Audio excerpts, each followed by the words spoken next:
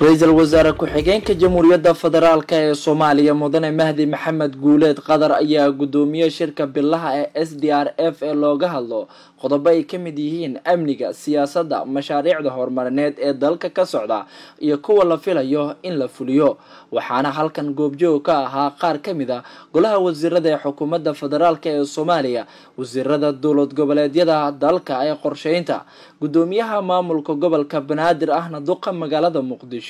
injineer cabdiraxmaan cumar cismaan yariisow deeqbixiyaasha caalamka iyo ku-xigeenka wakiilka qaramada midoobey ee soomaaliya wakiilka midowda yurub iyo qaar ka mid a safiiro ka socday waddamada caalamka mudane mahdi maxamed guuleed qadar ra'iisul wasaare ku-xigeenka dalka oo furitaanka shirka khudbad ka jeediyey oo kaga hadlay dadaalada socda sida amniga dhaqaalaha arrimaha bulshada iyo xaalada fatahaada ee ka dhacday gobollada dalka iyo sidii deeqbixiyaasha ay uga jawaabi lahaayeen baaqii dowladda. Wax ka qabashada arrimaha fatahaada wasiirka wasaaradda qorsheynta maalgashiga horumarinta dhaqaalaha xukuumadda federaalk ee soomaaliya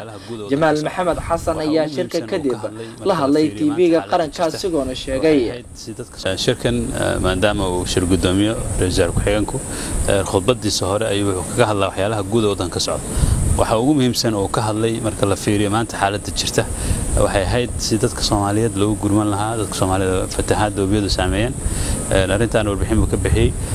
Dadka shir ka soo qayb galan ka hadleen qaarkood wuuna ku celiyey mar kale codsigii uu soo jeediyey hore ugu soo jeediyey deeqbixiyaasha iyo dadka saaxiibadeenna in dadkaa loo gurmado dadka soomaaliyada dhibaataysan loo gurmado dhammaanteen oo wixii loo qaban kara si ugu dhaqso badan loogu qabto. Arrintaana waa lagu celceliyey xooggan waa la saaray. Insha allah waxaan rajeynaa inay sii socon doonto dadaalkaas waxyaalaha kale laga hadlay waxaa ka mid ahaa shirka soo socda ee dowladda soomaaliya ugu qabanayo brussels sida hoostagaraynayaan ama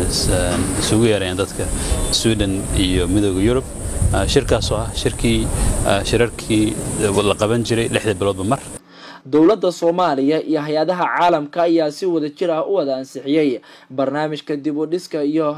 qaabeynta cadaaladda kaas oo wasiirka cadaaladdu soo hordhigay shirkan. Dhinaca cadaaladda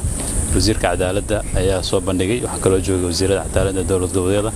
barnaamijkii markii laga dooday la fiiriyey lacagtii iyo dhaqaalihii ku bixi lahaa. Oo ay ka wada hadleen dhammaan dadkii meesha joogay. Intii danaynaysay deeqbixiyaashii dowladda soomaaliya federaalka iyo dowlad goboleeda waxaa la isla qaatay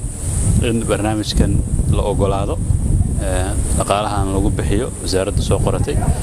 lana hirgeliysa ugu dhaqsaha badan. Shirkan ayaa dhaca afartan iyo shan cisho kadib waxaana inta badan la isla eegaa dadaalada horumarineed ee socda iyo kuwa la doonayo in la fuliyo guud ahaan dalka waxaana taas ay qayb ka qaadanaysaa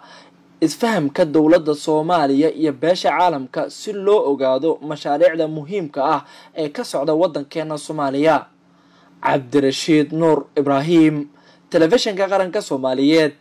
magaalada muqdisho